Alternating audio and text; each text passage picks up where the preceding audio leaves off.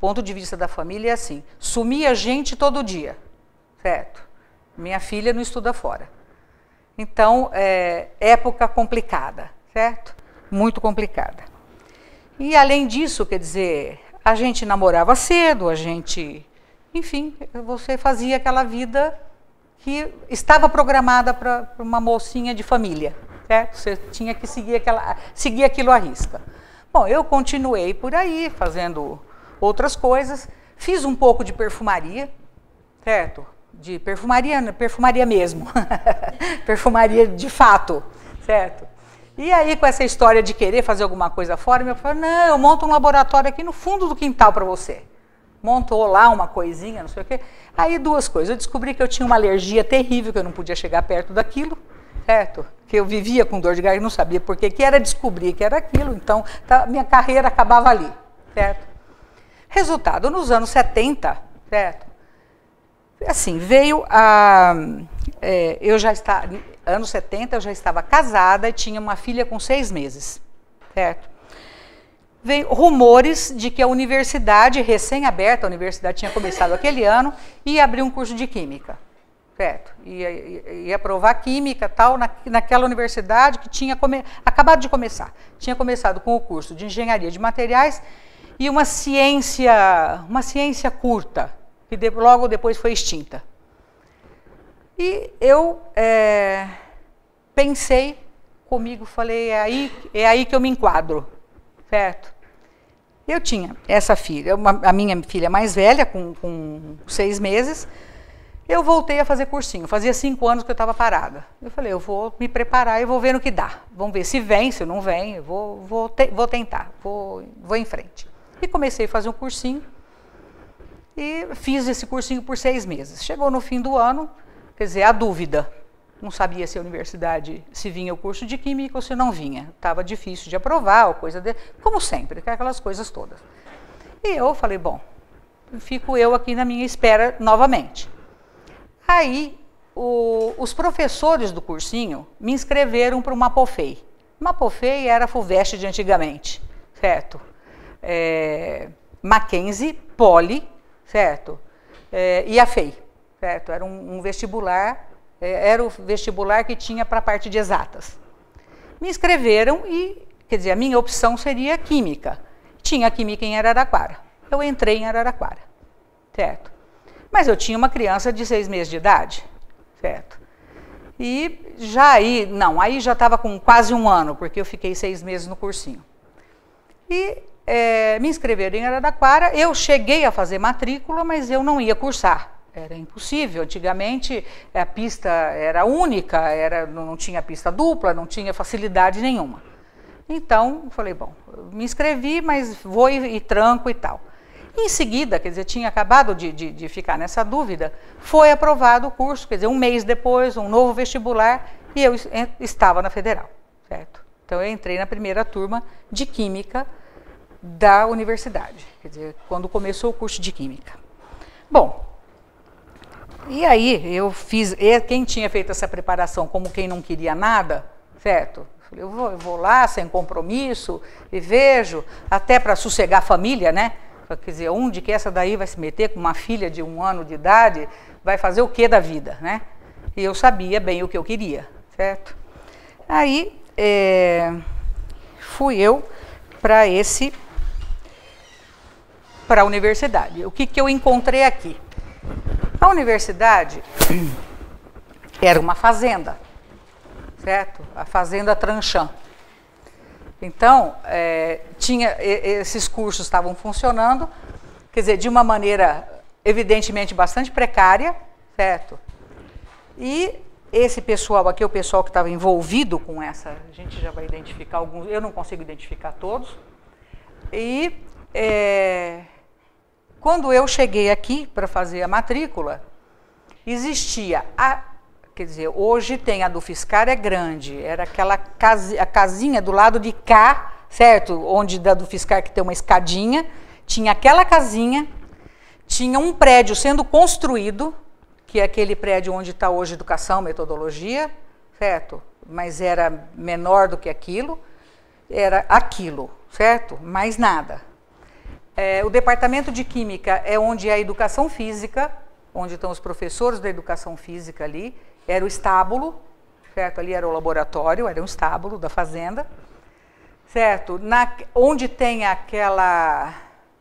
Hoje tem alguma lanchonetezinha ali, era o Forte Apache, certo? Então tinha o Forte Apache, inclusive o Forte Apache foi o que gerou os primeiros boicotes e as primeiras coisas da, da, universidade, por causa de preço, por causa de não sei o quê, por causa de não sei o quê. Os primeiros protestos foi com relação ao Forte Apache, certo? É,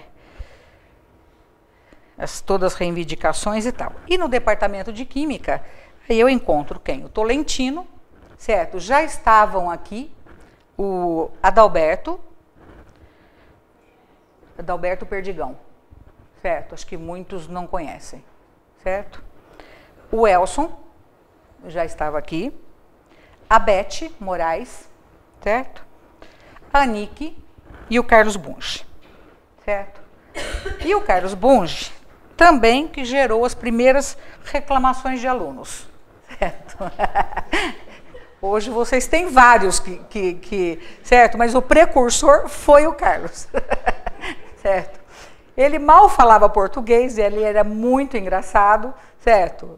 Engraçado, assim, no jeito de se posicionar. Então, ele entrava na sala de aula, ele falava, ninguém entendia, ele batia na luz, ele queria saber quem era o delegado, certo? Aí a coisa complicava, porque as pessoas não conseguiam se comunicar com ele. Então, é, e ele entrava numa sala de, de, de, de calouros, falando no mesmo nível que ele entrava na sala de pós-graduação. Quer dizer, então, ele, não, ele falava, e ponto bem, e quem quer vai atrás. E aí, a primeira prova, eu cheguei à conclusão, falei, eu não entendo nada do que ele fala, eu vou à luta, eu tenho que ir à luta, certo? Vou pegar meu livrinho, vou estudar, certo? Na segunda prova eu já consegui discutir com ele, porque tinha alguma coisa que ele tinha colocado uma dúvida, eu fui lá, falei, não, isso aqui está na página tal, assim, assim, assim. Foi no livro, tá, tá bom. Tá, o livro não tá legal, mas tá igual no livro. Então, tudo bem, tá, tá certo. Tá? Mas, e aí, eu, eu liguei o desconfiômetro, falei, eu vou correr atrás, porque senão tá danado. Resumo da ópera que a gente tinha começado, essa turma eram de 75 alunos, a primeira turma, a gente se formou em cinco alunos certo? E a peneira começou aí, certo? Então, é, então o, o, o, Carlos Bunge, então, é o precursor de todos os outros que vocês por aí têm dificuldade, certo? foi, a, foi a semente. Bom, aí estava também, em seguida, veio o Sena e o Mozeto, certo? No ano seguinte. Aí as reclamações eram do Carlos, Então colocava, tinha um estudão lá embaixo. Vocês que chegaram depois, Sônia, lá onde era o laboratório de meios auxiliares, vocês chegaram a pegar aquilo como um estudão? Era uma sala grande, era um estudo. Então, tu reclamava do, do, do Carlos, então, punha o Elcio para dar aula à tarde para gente lá, para poder traduzir em miúdos o que o, sabe, o que o Carlos tinha falado. Então, lá ia o Elson. E que às vezes também, quer dizer, não era muito maleável, também dava pau. Então, é, foi é, assim, uma, uma vivência muito boa, certo? E aí o Tolentino falava, não, mas agora vão ser contratado duas pessoas que vêm, vão chegar aí para o ano seguinte. Excelente, um cara magrinho, certo? Ótimo professor, não sei o quê. Quando chegou o cara magrinho na sala, era o Senapesque. magrinho. O Senapesque redondo. é. Então, é, aí chegou o Sena e o, e o Mozeto. O Cérvulo já estava, porque todos nós fomos alunos do Cérvulo. Eu não consigo precisar em que época, se o Cérvulo já estava aqui ou não. Eu só encontrei ele um pouquinho adiante. Eu tenho a impressão que no primeiro ano eu não cruzava com o Cérvulo aqui. Mas enfim, depois fiz disciplinas com ele. Quer dizer, é outro camarada. Aqui, olha, o professor Maia. É, o, o Maia está aqui, olha. O Maia era um professor de física, não sei, ele, ele escrevia livro, cada aula ele saía, já tinha uma apostilinha lá para você chorocar, saía de outra aula, já tinha uma apostilinha. Ele escreveu 500 mil livros de física de ensino médio, de não sei, ele era extremamente organizado, a lousa dele era uma maravilha, era, era um cara assim, e fantástico, pequenininho, comunicativo, era uma, uma, uma, um ser especial. Ali eu não sei quem é, esse, aí vamos pela história, quer ver? Não, o outro vai aparecer lá na frente. Então vamos aqui. Esse aqui é o Zé Fernando Porto, acho que deve ser a mulher dele. Esse aqui é o nosso primeiro reitor, o Gurgulino, certo? É uma pessoa extraordinária também. Não sei se vocês chegaram a cruzar com o Gurgulino ainda. Primeiro reitor foi o Gurgulino. O Mascarenhas está aqui, o Tolentino está aqui, esse é o Sérgio Mascarenhas. Aqui são pessoas da USP e tal que ajudaram por aí, eu não consigo assim identificar. Até a fisionomia não me é, mas eu não consigo precisar. E assim, o Zé Fernando Porto aqui, na realidade, ele está aí representando a política. São Carlos sempre foi, certo, uma cidade extremamente política, como na época todas eram, certo? E a universidade foi, foi, foi fundada, foi o projeto da universidade foi de dois, dois deputados federais certo? O, o Ernesto Pereira Lopes, que era da cidade, era o dono da fábrica de geladeira, certo? E que apresentaram esse projeto, se não me engano, em, na década de 60, começo de 60, na realidade foi aprovado em 68, e a universidade foi criada em 68, mas foi implantada de fato em 70, certo? E o Zé Fernando era um padrinho político, eles eram um padrinho político do Zé Fernando Porto e que por aí esteve aí, aí se montou o conselho de curadores, ele estava no conselho de curadores e tal. Na realidade, que, acho que quem é, elaborou as, e, os estatutos e coisas do conselho de curadores foi o Mascarenhas. Certo? Então aí aparece o Mascarenhas, a, a Ivone Mascarenhas, é, lógico que participava disso tudo, né? Então, é, que é uma pessoa que vai vir conversar com vocês. Ela é extraordinária, certo? Bom, desses professores que estavam aqui no começo, e aí um capítulo à parte, certo? Um capítulo à parte é o Cérvulo, certo? O Cérvulo foi uma personalidade incrível, dá para perceber aqui. Você conheceu o Cérvulo, Dalcaine? Não, né?